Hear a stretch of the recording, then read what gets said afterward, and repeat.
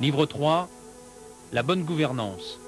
Le Forum de la réconciliation doit déboucher sur l'adoption de résolutions précises et fermes, recommandant le respect de l'identité nationale des Ivoiriens, la pratique de la démocratie participative et apaisée, l'exigence de la légitimité démocratique, la reconnaissance par tous de l'unité et de l'indivisibilité de la République, de la laïcité de l'État et la défense d'une administration publique non partisane venant en support d'un État impartial, le respect des droits humains, à commencer par le droit à la vie. Parce que j'ai de la politique,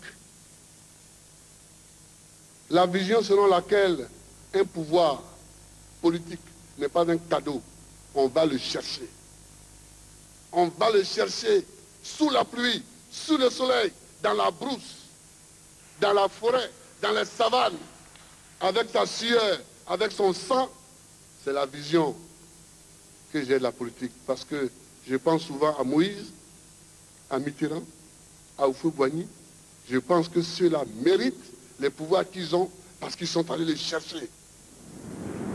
Quand il y a un grand changement, hélas, il y a toujours beaucoup d'affrontements. On ne construit pas l'histoire des peuples en mettant entre parenthèses les affrontements. La valeur d'un grand pays, c'est sa capacité à surmonter ces affrontements qui sont rendus inéluctables par l'avancée de l'histoire. C'est pourquoi j'ai décidé de faire ce forum pour que nous trouvions en nous-mêmes aujourd'hui, mais aussi demain, les capacités à surmonter les difficultés actuelles et les difficultés à venir. Il faut que les Ivoiriens sachent que dans le concert du monde, c'est eux et eux seuls qui peuvent trouver en eux-mêmes les ressorts essentiels pour surmonter leurs propres contradictions. Les contradictions, il y en a aujourd'hui, il y en aura demain il ne faut pas qu'on croie que la vie de la Côte d'Ivoire sera tranquille, on chantera la berceuse tous les soirs, et que tout le monde mangera trois repas par jour. Non, on aura des problèmes. Mais il faut que nous nous habituions à trouver les règles, les règles et les habitudes pour régler nous-mêmes nos problèmes. Mais je pense que dans notre pays, ici en Côte d'Ivoire, il ne faut pas, dans la situation actuelle, que le chef d'État soit un homme d'affaires. Moi, je me suis gardé de tout affairisme. Je ne suis pas un homme d'affaires. Ma femme n'est pas une femme d'affaires. Et je suis fier de ça. Au moins, nous gardons notre liberté de jugement, d'appréciation. Et je le dis souvent aux agriculteurs. Je le dis aussi aux industriels aux commerçants. Je ne suis pas votre concurrent parce que je n'ai pas d'affaires. Je ne suis pas un homme d'argent. Dans les premiers moments de la Côte d'Ivoire, il faut qu'on s'efforce de faire en sorte de ne pas mêler l'exercice du pouvoir d'État avec l'exercice des affaires privées, familiales, déclarées ou pas, des exercices de prêtre non. Ça nous a amené dans la catastrophe. On a vu des membres des familles, des chefs d'État s'ériger en concurrents implacables d'opérateurs économiques. Ici en Côte d'Ivoire. Ce n'est pas bien pour l'économie. Parce que, bon, je ne dirais même pas que ce n'est pas bien pour l'image, parce que chacun a l'idée à une idée particulière de son image. Donc, euh, il faut que les Ivoiriens comprennent ce que c'est que la démocratie. On peut être au pouvoir et demain être dans l'opposition. Je dirais que la démocratie sans tricherie doit être l'exigence forte de ce forum pour que tous nous puissions vénérer la nation servir la République, vivre solidairement et durablement dans la paix et le progrès. beaucoup l'ont oublié, mais souvenez-vous de l'année 1990. Elle a été l'une des années les plus difficiles dans notre histoire. Le pays était au bord du gouffre, de la faillite, comme le disait Jean-Christophe Mitterrand. Il y avait d'énormes problèmes pour assurer le salaire des fonctionnaires. Pour sortir de cette situation, il avait été proposé une réduction des salaires de 10%. À l'annonce de cette mesure, les Ivoiriens sont descendus dans la rue. Pour la première fois, le président Oufouette était contesté. Souvenez-vous, le 18 avril, quand j'ai accepté de, de, présider le comité interministériel, j'ai fait un discours de trois minutes à la nation où j'ai proposé la suspension des mesures de réduction de salaire. Et nos compatriotes étaient soulagés.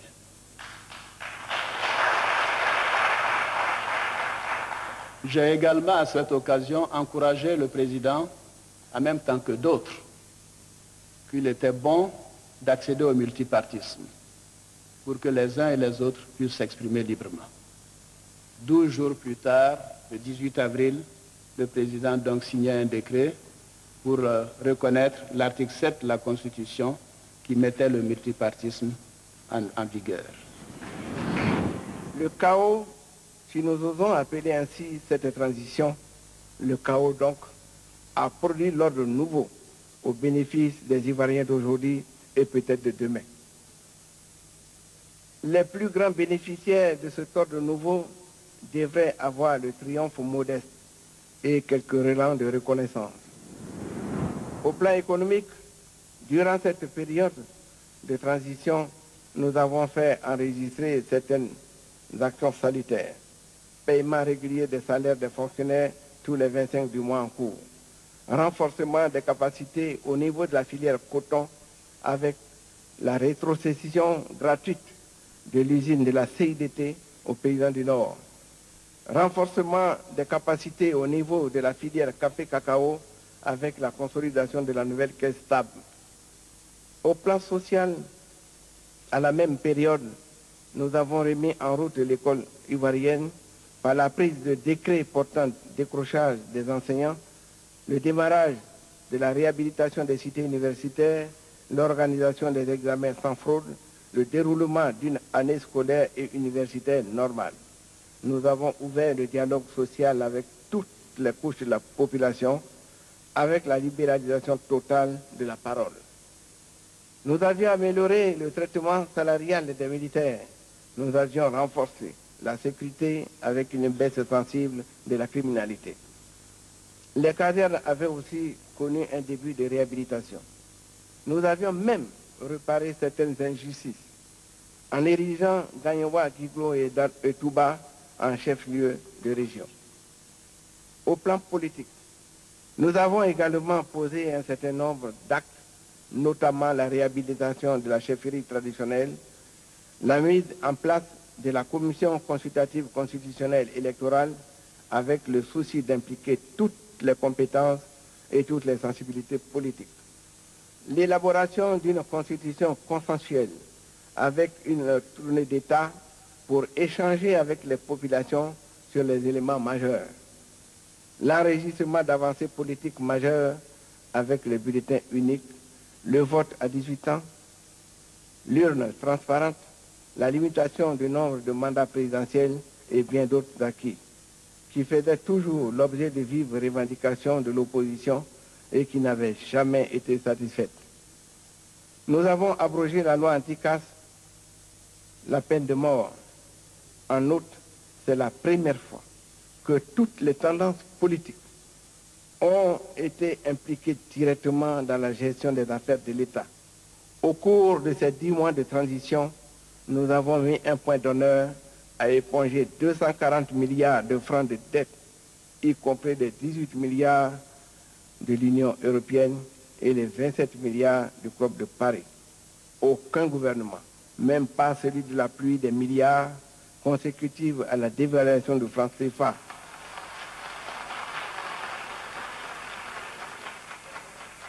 Consécutive à la dévaluation du franc CFA en 1994, ne peut revendiquer meilleure performance. Et pourtant, nous ne nous prévalions d'aucune théorie d'économiste. Notre seule recette résidait en notre amour profond et jamais pris en défaut pour notre pays, la Côte d'Ivoire. Cela au mépris de nos intérêts propres et au dépens du prestige de notre État dont le train de vie avait été réduit de façon drastique. Vous me demandez si je pense qu'il y a eu mal gouvernance en Côte d'Ivoire. Oui. Sinon, je n'aurais pas été dans l'opposition. Si je pensais que les gouvernants gouvernaient bien, je n'aurais pas été dans l'opposition. Moi, j'étais dans l'opposition. Mes missions, je les ai toujours définies publiquement. Casser les partis uniques. Donc, faire en sorte qu'on ait le multipartisme. Ensuite, amener la Côte d'Ivoire à la démocratie. Troisièmement, amener la Côte d'Ivoire à l'alternance. Je continue mon travail, mais je pense que ça, c'est bien pour la Côte d'Ivoire. Qu'on ait cassé le parti unique, qu'on ait le multipartisme, qu'on s'achemine vers la démocratie, parce qu'on n'y est pas encore. Je crois que c'est un bon combat pour la Côte d'Ivoire. Alors évidemment, certains pensent que je suis coupable d'avoir fait ça, mais je revendique cette culpabilité. Vous me demandez si j'ai des griefs au plan politique. Et contre qui? Je n'ai aucun grief. Je n'ai aucun grief. Parce que je pense qu'on ne m'a pas obligé à faire la politique. C'est moi-même qui ai décidé de faire la politique en Afrique, au temps des partis uniques. En prenant une telle décision, je choisissais une voie difficile. Tout ce que j'ai reçu comme coup dans cette voie, ce sont les coups que je mérite. Mais j'ai appris à encaisser. Et j'encaisse. Mais j'ai aussi appris à donner des coups. Et j'en donne.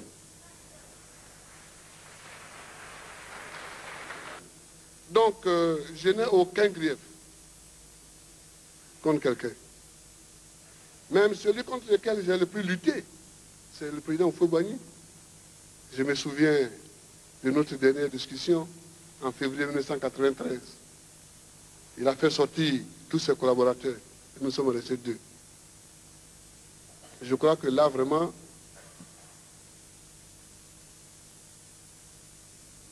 j'ai reçu le plus grand hommage qu'on puisse me rendre en politique en Côte d'Ivoire ici.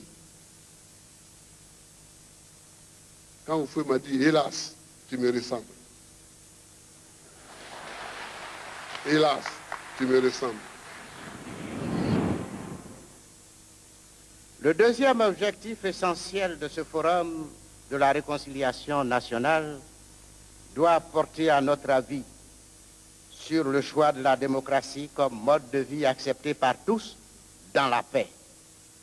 Nous devons nous sentir engagés et unis dans le combat de la démocratie apaisée afin que les armes qui ont balayé les espoirs placés dans nos institutions républicaines se taisent à jamais. Je vais vous dire mes frustrations. Pour vous dire que j'ai déjà pardonné. Dans ma famille, la prison est une seconde nature. Monsieur Gris Camille, c'est l'oncle de maman. Il était en prison en 63. Arrêté pour faux complot. Ancien ministre du Travail. Mon père, Paul, arrêté en juillet 64. Ma soeur qui est là, elle était en grossesse en 71. Elle a été frappée, arrêtée et elle a accouché. Et l'enfant est mort. Moi-même, j'ai été arrêté quatre fois. La première fois en 66, par un sous-préfet, il s'appelle Ayemou Je ne sais pas ce qu'il est devenu. Ensuite, en 69, pour faire des grèves, parce que j'étais contre l'embrigadement des étudiants dans un parti et dans un, un mouvement unique. En plus, en 71, On m'a arrêté et Dieu merci, on m'a amené dans l'armée, ce qui m'a permis de connaître les militaires et l'armée. J'ai fait deux ans. En 92, on a été moi-même, mon épouse qui est là, et mon fils aîné, Michel Babou. On était tous les trois en prison. J'ai fait six ans en exil. Six ans et demi. J'ai fui la Côte d'Ivoire. Parce que je n'étais plus en sécurité ici. Donc j'ai connu tout ça. Mais pour moi, c'était le prix à payer pour qu'aujourd'hui, le pays soit au stade où il est. Je n'en veux en personne. Même les gens qui sont venus m'arrêter, je suis devenu leur copain. Donc je n'ai pas de problème. Mais il faut qu'on sache que cela a été. Il faut qu'on sache que cela a été. Chers compatriotes, nous réconcilier, c'est possible.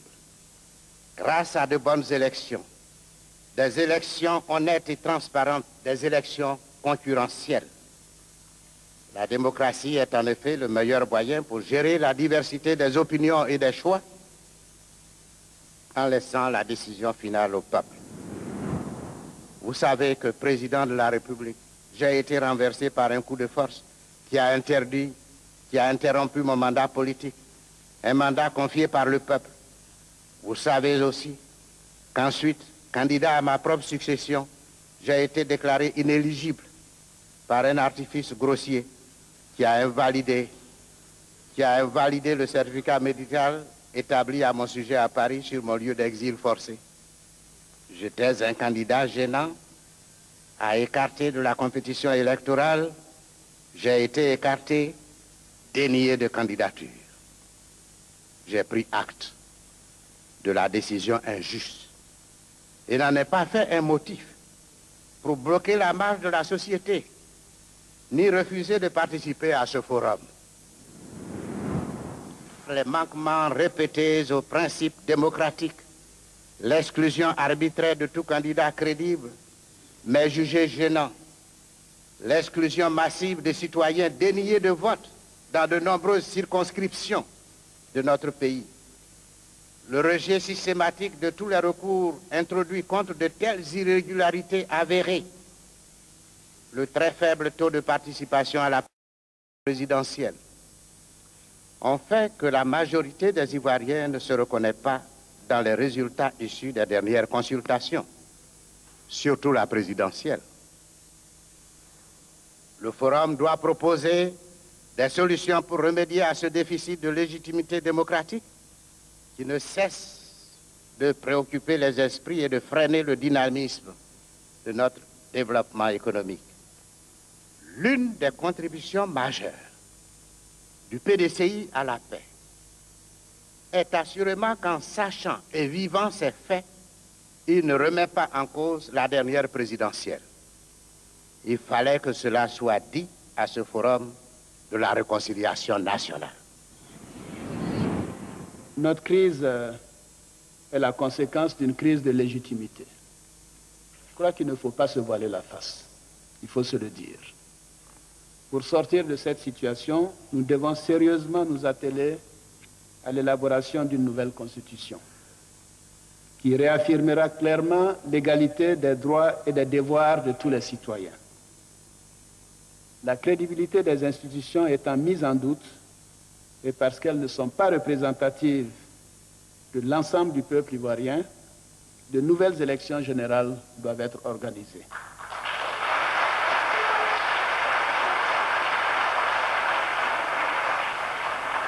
De plus, il importe de mettre fin à l'impunité et à cet égard, la lumière doit être faite sur le charnier de Yopougon. L'exigence du maintien de l'ordre, oui, mais nos forces, de l'ordre doivent demeurer républicaines et consciencieuses de leurs devoirs. La Côte d'Ivoire doit veiller à ce que l'état de droit soit renforcé et plus généralement notre système judiciaire.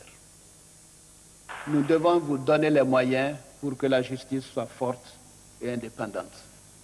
Car les pays crédibles en matière de démocratie et en matière de développement sont des pays qui ont une justice crédible. C'est à ce prix que nous aurons la stabilité et que notre pays redevienne ce qu'il a toujours été, c'est-à-dire un pays de paix et de stabilité. Et pour cela, tous les sacrifices sont possibles. À mes frères Bédier, Gay et Babo, je lance un appel pour que nous nous ressaisissions, pour que nous nous asseyions. Ce n'est de la formule, asseyons-nous pour discuter. En ce qui concerne euh, le président Gay notamment, on se pose la question de savoir s'il doit bénéficier du statut d'ancien chef d'État. Mais pour nous, cette question ne peut même pas se poser. Il a occupé ses charges au plus haut niveau pendant des mois difficiles. Il est tout à fait naturel que ce statut lui soit reconnu. Et je le répète, que j'ai pardonné à tous mes frères, à tous mes frères, à tous mes adversaires politiques, même à la presse poubelle qui m'a sali. Et je les invite à faire autant. Et je voudrais terminer en vous disant sincèrement, chers frères et sœurs, que je n'ai aucun ressentiment. J'entends aussi, j'entends aussi des gens ici et là dire Gbagbo nous a fait des promesses qui n'est pas tenues. Gbagbo nous a fait des promesses qui n'est pas tenues. Je ne suis pas d'accord. Parce que les gens croient que je suis président pour faire ce qu'eux, ils pensent être bien pour eux. Mais moi, je suis président pour faire ce que je pense être bien pour la Côte d'Ivoire. C'est ça qui est la vérité. Il y a une question qui revient souvent. On dit, voilà, Gbagbo ne veut pas donner le statut d'ancien chef d'État, soit à Guy, soit au président Bédier, la seule loi, monsieur le président du directoire, qui régit les règles concernant l'ancien président de la République, c'est la loi du 6 juillet 1995.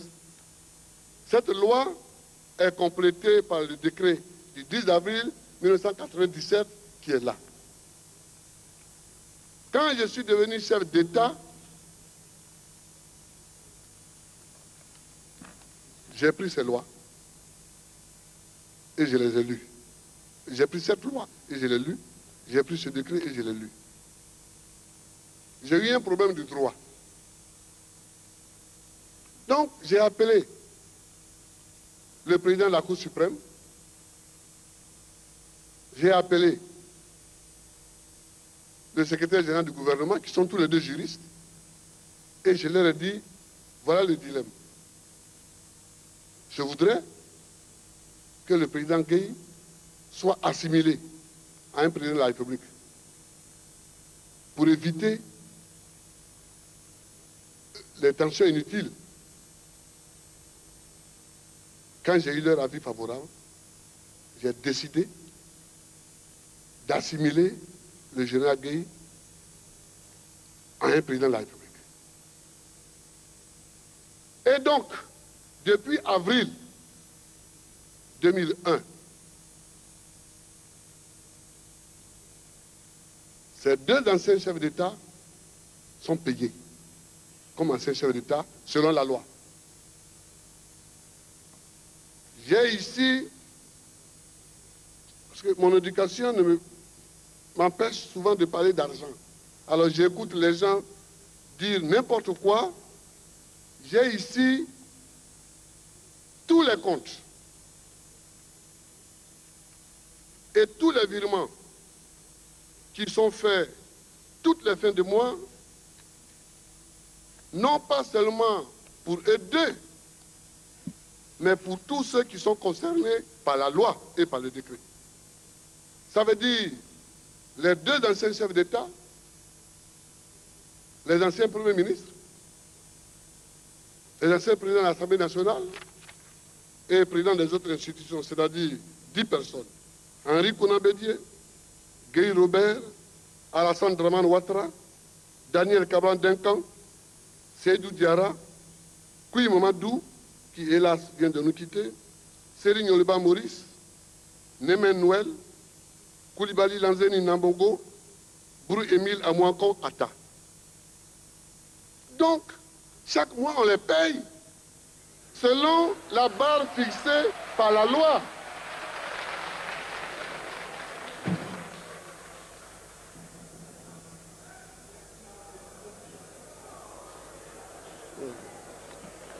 Chaque mois, on les paye selon le niveau fixé par la loi. On appelle ça des allocations viagères. Bon, je fais cela.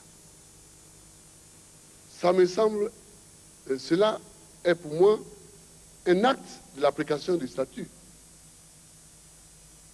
Donc je ne veux pas qu'on me fasse un mauvais procès. Un ancien président de la République, il a droit à être membre du Conseil constitutionnel.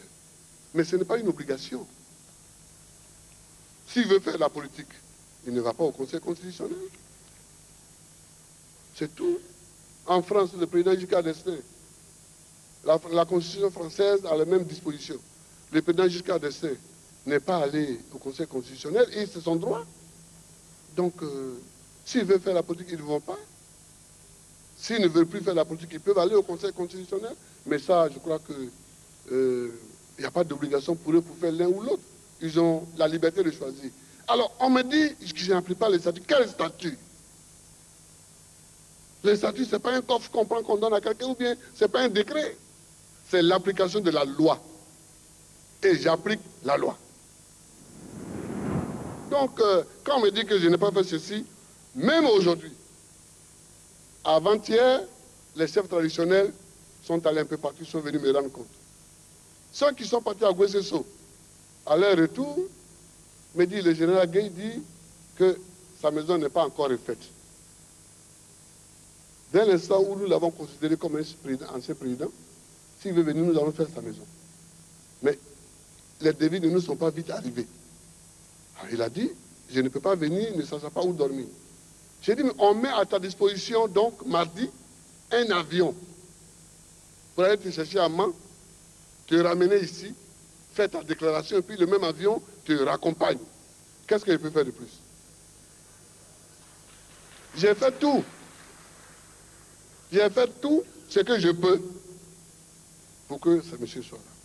Bon, Ouattara, lui, oui, euh, Babou n'a pas tenu ses promesses, mais je tiens toujours mes promesses, parce que je ne dois rien à personne.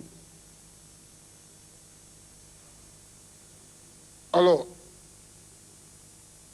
moi, des amis qui sont au RDS sont venus me voir.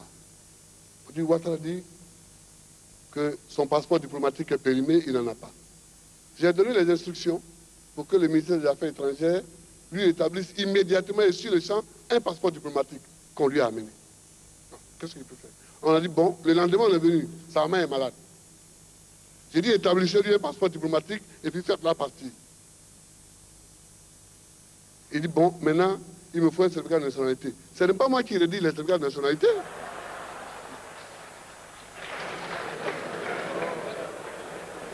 Ce qui est à mon pouvoir, c'est ce que je fais.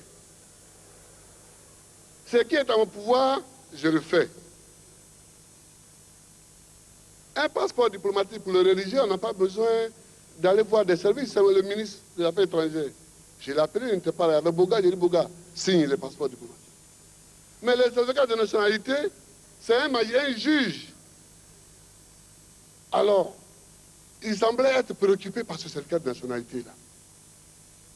Je ne voyais pas tellement pourquoi il était préoccupé, bon, mais comme ils étaient préoccupés, j'ai dit à mon même ami, le maire de Boaké, Fanny Ibrahima, qui est un ami, qui m'a signalé que la cour d'appel de Boaké avait cassé le jugement du tribunal de qui refusait le certificat de nationalité à Ouattara. J'ai donc dit à Fanny Ibrahima, j'ai dit à Seydou Diara, le président, et j'ai dit à Ouattara lui-même d'aller chercher la grosse à au tribunal de Boaké. Et puis, avec cette grosse, ils peuvent aller voir le juge. Ils sont allés chercher la grosse. Ils sont allés voir le juge. Le juge refuse le certificat de nationalité puis on dit oui, le pouvoir n'a rien fait. Mais moi, je fais quoi? Moi, je leur ai donné des conseils d'amis. Alors, à la fin, le ministre de l'Intérieur m'a dit, mais euh, le premier ministre Ouattara a été candidat en 2000 euh, et il avait produit un certificat de nationalité. J'ai dit, va chercher ce certificat de nationalité, il faut le leur donner. Alors, voilà donc, je n'aime pas qu'on accuse à tort et à travers. Je suis à la tête de ce pays, je veux que chacun fasse son travail. C'est ça les conditions d'une démocratie et d'un état de droit. Le président de la République n'est pas un juge. Le président de la République, ce n'est pas lui qui signe les certificats de nationalité. Jamais je n'ai appelé un juge pour lui donner des instructions. Jamais. Je n'ai jamais, depuis que je suis là, appelé aucun juge pour lui donner des instructions. Et je maintiendrai là aussi cette ligne-là de conduite. J'ai critiqué trop cela pour le faire. Et j'ai souffert moi-même de cela. À ce constat s'ajoute bien sûr le jeu des alliances politiques de circonstances, des ruptures et des haines qui s'ensuivent entre certains partis contractants, plus soucieux de mettre en commun des stratégies de, déstabilisation du pouvoir en place. Ces alliances contre nature sont des marchés de dupes. Elles se brisent inéluctablement au premier choix déterminant, parce qu'elles n'offrent pas de modalité pratique d'une unité d'action véritable pour les militants de base des partis politiques contractants. J'entends souvent, et j'ai entendu aujourd'hui encore dire qu'il y a des alliances contre nature qui sont faites ici ou qui sont faites là. En politique, il n'y a pas d'alliance contre nature. En politique, il y a des alliances où il n'y a pas d'alliance. C'est pourquoi toujours, en attaquant quelqu'un, il faut l'attaquer de telle sorte qu'une alliance possible soit préservée demain. Toujours. Toujours. Le FPI et le RDR se sont réunis en alliance. Mais il n'y a pas d'alliance. Comment ils ont appelé ça Contre nature. Il n'y a pas d'alliance. Il y a une alliance ou il n'y a pas d'alliance. Mais aujourd'hui, dans le monde, Simon Pérez, notre camarade Simon Pérez de l'international socialiste, il est ministre des Affaires étrangères d'Ariel Sharon, qui représente la droite la plus brutale en Israël. Est-ce que l'Israël ne vit pas Israël vit. Willy Brandt lui-même, notre ancien président de l'international socialiste, il a été ministre des Affaires étrangères d'un chancelier de la CDU.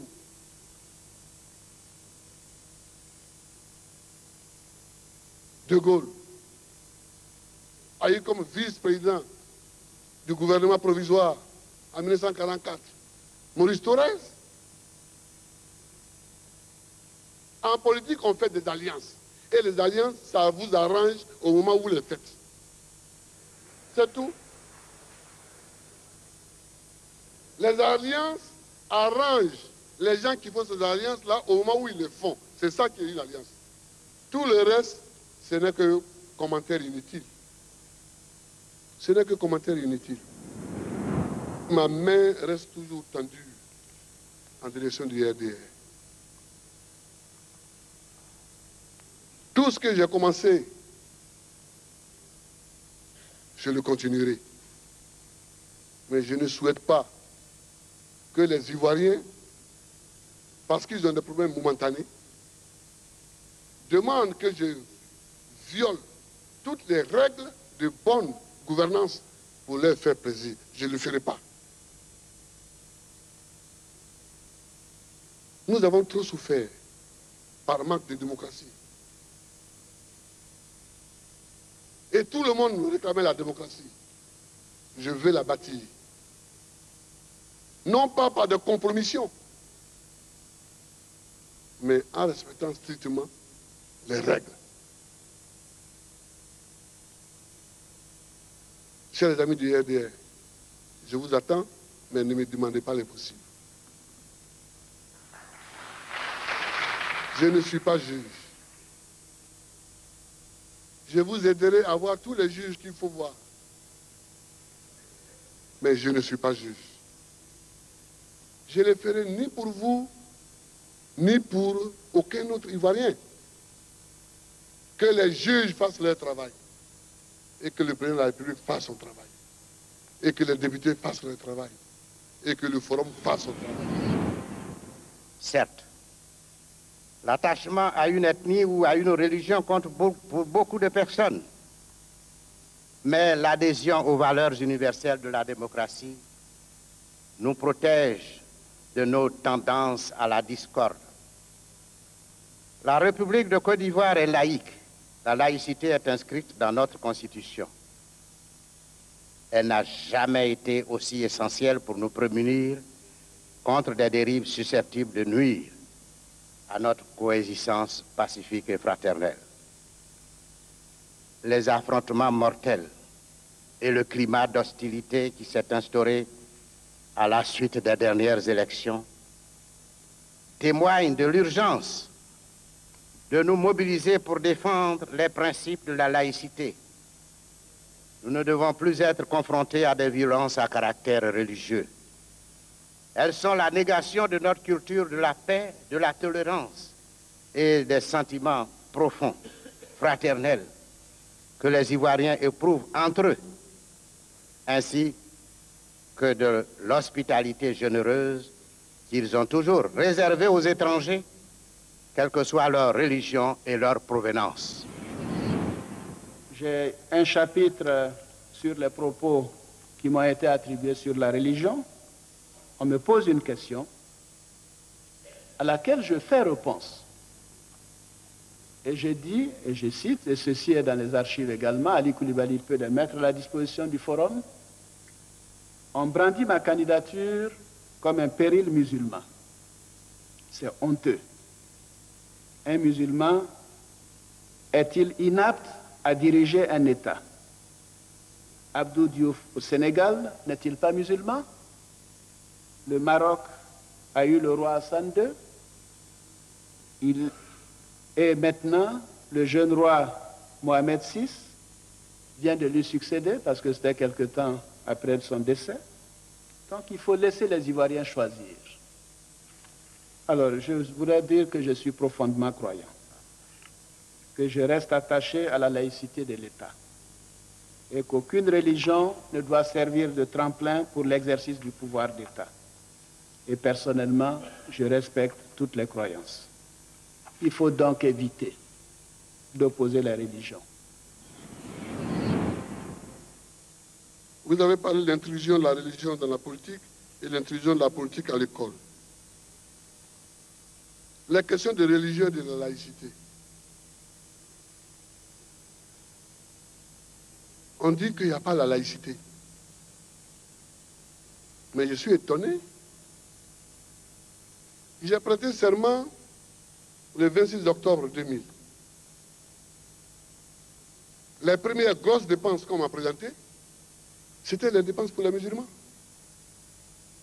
Je suis arrivé, je ne savais même pas que l'État payait les transports pour que des musulmans aillent à la Mecque.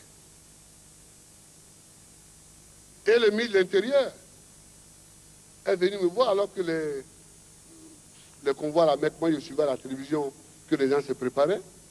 Il a dit, président, ah, tes prédécesseurs prenaient en charge chaque année 50 musulmans pour aller à la Mecque.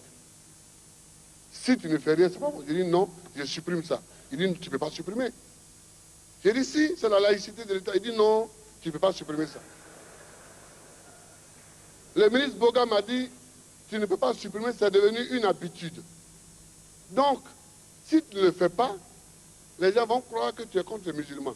On s'est tellement précipité, parce que c'était, on était en état, qu'au lieu de 50, on a fait 71.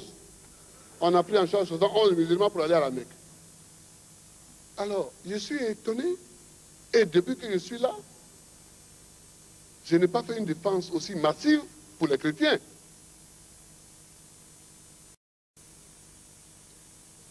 Le départ à la Mecque et ces dépenses que nous avons effectuées coïncidaient avec la nomination de notre archevêque d'Abidjan comme cardinal. Alors j'ai dit, mais si j'ai fait ces dépenses-là pour les musulmans, je peux faire au moins la moitié pour les chrétiens.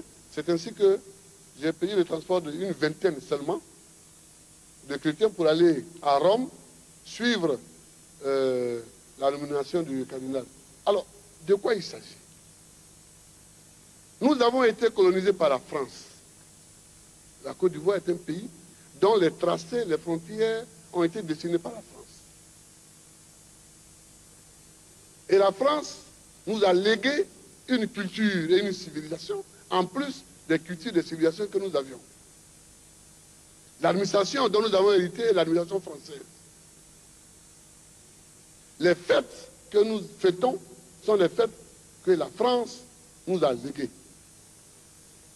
Et la manière de découper l'année scolaire, nous l'avons hérité de la France, de la Troisième République. Les grandes vacances, les vacances de Noël, les vacances de Pâques, puis les grandes vacances de nouveau, nous avons hérité ça de la France. Est-ce qu'on veut dire qu'il faut que nous abandonnions le cycle français pour entrer dans un autre cycle? Si c'est ça, qu'on le dise. L'État de Côte d'Ivoire a fait des efforts. Et depuis 90, des fêtes musulmanes sont quand même décrétées journées fériées, chômées et payées. À tel point que, depuis que je suis là, je refuse de créer encore d'autres journées chômées et fériées. J'estime que les Ivoiriens ne travaillent pas assez. Ils sont tout le temps en congé. Chômés, fériés et payés. C'est pas normal. Et la politique à l'école. Moi, souvent, je m'amuse. Ça m'amuse quand je vois des gens dire oui, il faut interdire aux étudiants de faire la politique. On ne peut pas interdire à quelqu'un de faire la politique. Nous-mêmes, quand nous étions étudiants, on a fait la politique. Mais en même temps, il faut étudier pourquoi, tout en faisant la politique, aujourd'hui les gens se battent à coups de machette. Et puis les résultats sont si mauvais. Ce n'est pas le fait que les gens font de la politique qui les rend nuls ou bien qui les rend violents. C'est autre chose. Et cette autre chose-là, bon, le forum est là pour l'étudier, pour savoir ce qui, sinon, à quoi ça sert de prendre un décret désormais il est interdit de faire la politique à l'école. D'abord, personne Tout le monde vous rira au nez. Personne ne respectera cela. Quelle est votre opinion sur la presse nationale? Je pense que la presse nationale n'est pas encore à la hauteur de, des enjeux de la Côte d'Ivoire d'aujourd'hui. Il y a des progrès, mais fondamentalement, elle n'est pas encore à la hauteur. Je croyais qu'avec la presse libre, les rumeurs allaient mourir. Mais on dirait qu'on va chercher les rumeurs pour les mettre dans les journaux. Mais en tout cas, vous, avez observé, et je tiendrai jusqu'au bout, je ne mettrai aucun journaliste en prison parce qu'il a écrit un article qui m'est défavorable. Je ne le ferai pas aussi par orgueil. Parce que j'estime que j'ai beaucoup plus de culture que ces jeunes gens. Et que mon vieux aussi, il y en a un qui écrit n'importe quoi. J'ai la capacité de prendre ma plume et de lui répondre. Donc, euh,